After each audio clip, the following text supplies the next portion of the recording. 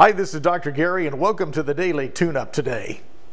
Yesterday morning, I played a video on our live program, The Morning Jump Start, at 7 o'clock Pacific Time.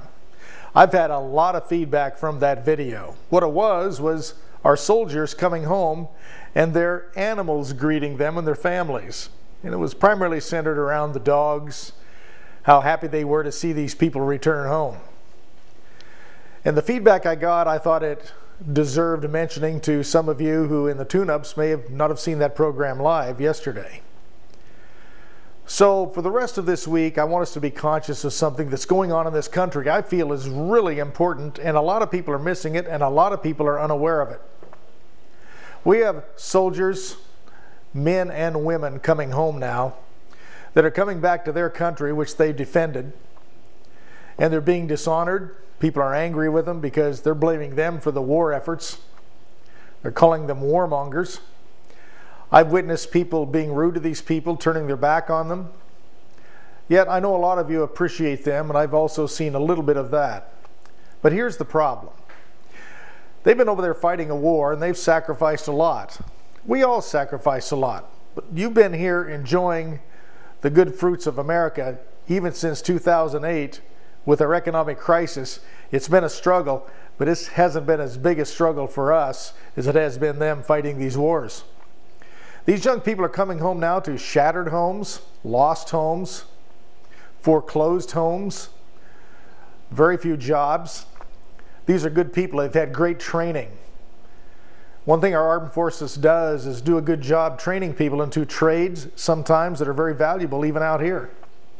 But there's not a lot of jobs for these people right now.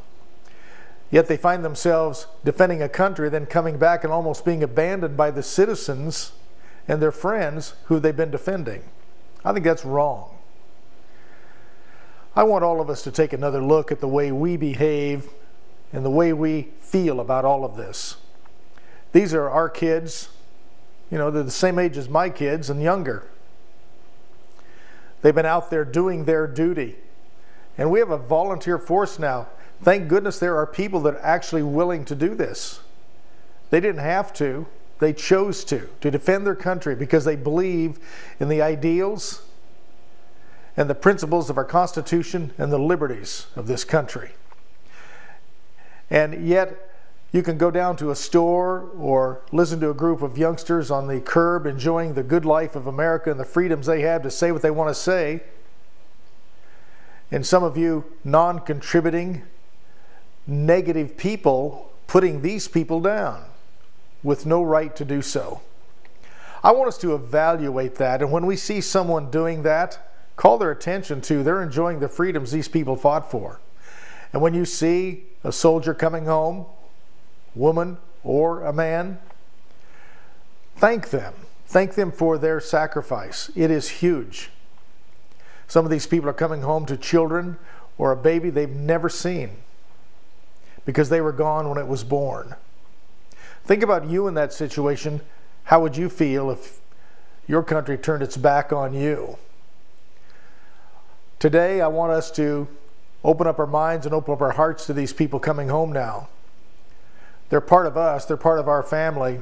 And even though our country is going through some economic upheaval, so is the rest of the world. And here in America, these people have still made this the greatest place in the world to be.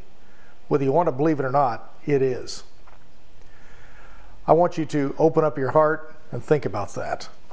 Until tomorrow, this is Dr. Gary wishing you an extraordinary day and enjoy your freedom and take care of it. Bye bye.